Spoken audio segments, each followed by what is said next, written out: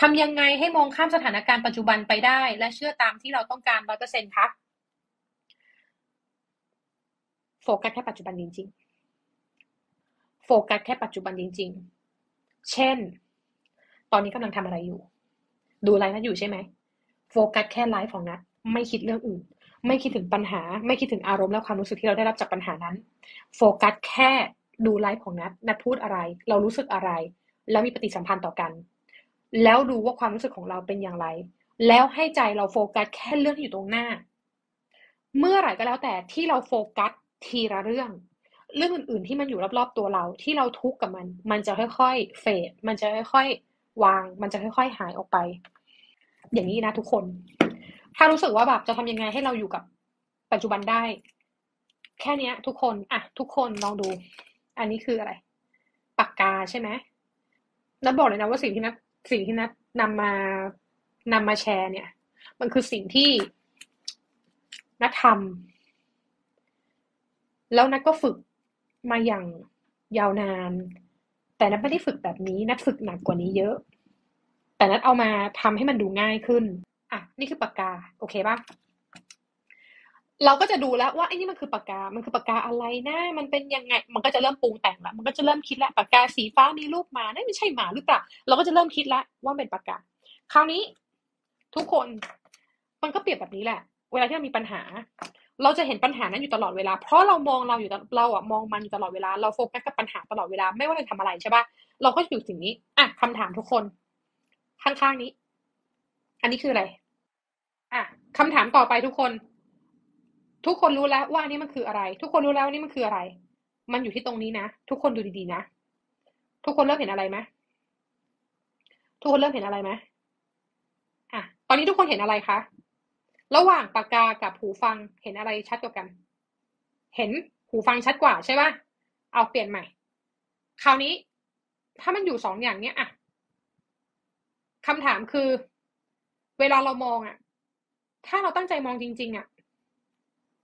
ทุกคนดูที่หูฟังคำถามคือยังอยู่ที่หูฟังนะคำถามคือ ปากกาด้ามเนี้ย มีธงชาติของประเทศหนึ่งอยู่รู้ไหมประเทศอะไร ดูที่หูฟังนะ ดูที่หูฟัง อะ เอาใหม่ทุกคน พอนัดเลื่อนมาปุ๊บอะทุกคนเห็นหรือยังอะทุกคนมาดูหูพานี่มาดูปากกาใหม่อะปากกาเห็นยังว่า ตอนนี้มันมีมันมีธงชาติอยู่ เห็นหรือยังว่ามันคือธงชาติอะไร สิ่งที่นัดทำอยู่ตรงเนี้ย ปากกา เปรียบเสมือนปัญหาที่เรากำลังเจออยู่ ถ้าเมื่อไหร่ที่เราเปลี่ยนจุดโฟกัส เราไม่ได้มองที่ปัญหา แต่เราไปมองเรื่องอื่นแทน แล้วเราโฟกัสกับเรื่องอื่นแทน ถามว่าปากกามันยังอยู่ไหมปากกาก็ยังอยู่ที่เดิมใช่ปะปัญหาก็อยู่ที่เดิม แต่ใจเราไม่ได้ทุกข์แล้วใช่ปะใจมันจะพักจากสิ่งนั้น แต่มันจะไปโฟกัสกับอีกสิ่งหนึ่งตอนที่มันอยู่ข้างๆกันเนี่ย ต่อให้ปากกากับ หูฟังมันอยู่ข้างกัน ปัญหากับสิ่งที่เราเห็นมันอยู่ข้างกัน แต่เมื่อไหร่ก็แล้วแต่ที่เราไปโฟกัสสิ่งอันใหม่ที่เราเห็น เราไม่ได้โฟกัสที่ปัญหา เมื่อกี้ถามว่าปากกาด้ามเนี้ย มันมีธงชาติอยู่มันเป็นธงชาติอะไร มีหลายคนบอกว่าไม่รู้ เราเห็นว่ามันเป็นปากกา แต่เราไม่เห็นรายละเอียดมัน เพราะว่าเรารู้ว่าเอ้ยมันคือปัญหานะ แต่ใจเราเริ่มที่จะไม่ได้รับมันแล้วแต่เราอะไปโฟกัสกับอีกสิ่งหนึ่งฉะนั้นฉันได้ฉันนั้นทุกคน เมื่อไหร่ก็แล้วแต่ที่เรามีปัญหาในใจ แล้วมันหนักหน่วงเหลือเกิน ปัญหาไม่ได้หายไปไหน ปัญหามันอยู่ที่เดิม เพียงแต่เราเป็นคนโฟกัสมันเอง เรื่องมันเกิดขึ้นไปแล้ว มันแก้ไขอะไรไม่ได้ ต่อให้แก้วันนี้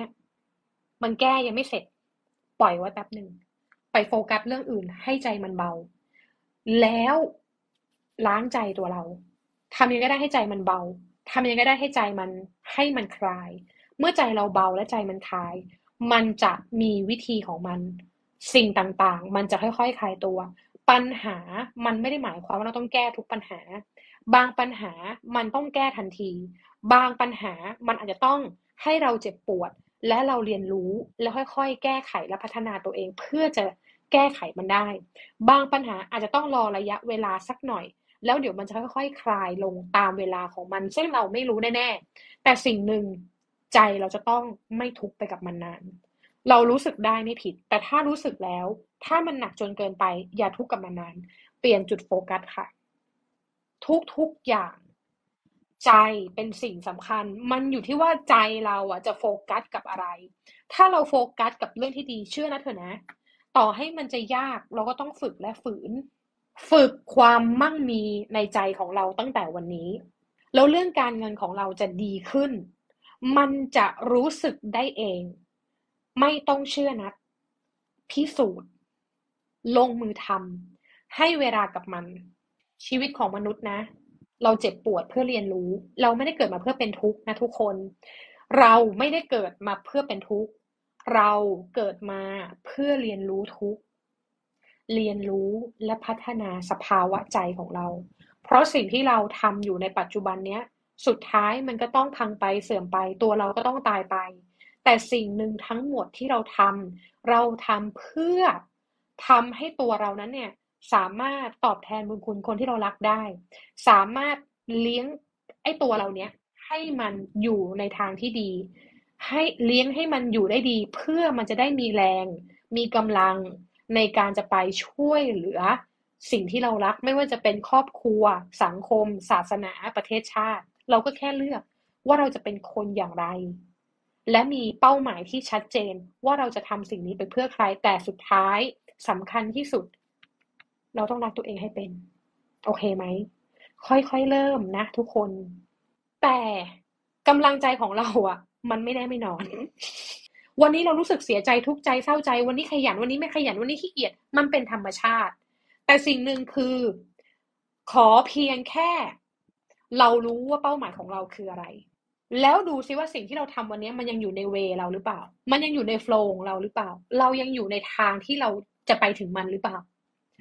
ใจอย่างหนึ่งเราสร้างความมั่งคั่งในจิตใจเราแล้ว เรารับรู้ได้ถึงความ ที่เราปรารถนาแล้วเรามีแล้ว เรามีมันจากหัวใจแล้ว อีกสิ่งหนึ่งคือเราต้องลงมือทำอย่างไม่หยุดยัง้ง มันเหนื่อยก็พัก ไม่ต้องลงมือทำทุกขณะก็ได้ ไม่ต้องลงมือทำในทุกเวลาก็ได้ แค่เพียงบางช่วง เฮ้ย เดี๋ยวเราไปหาความรู้เพิ่ม ไปรีแลกซ์หน่อยละกัน แต่ถ้ามันยังอยู่ในเว มันก็คือทางของเรา ไม่ต้องจริงจังกับมันในทุกขณะ ให้เวลาตัวเองได้ผ่อนคลาย ให้เวลาตัวเองได้ ได้ได้ผ่อนคลายบ้าง แต่มันยังอยู่ในเวของเรา อะไรก็แล้วแต่ที่มันยังอยู่ในเวของเรานั่นแหละ คือสิ่งที่มันถูกทาง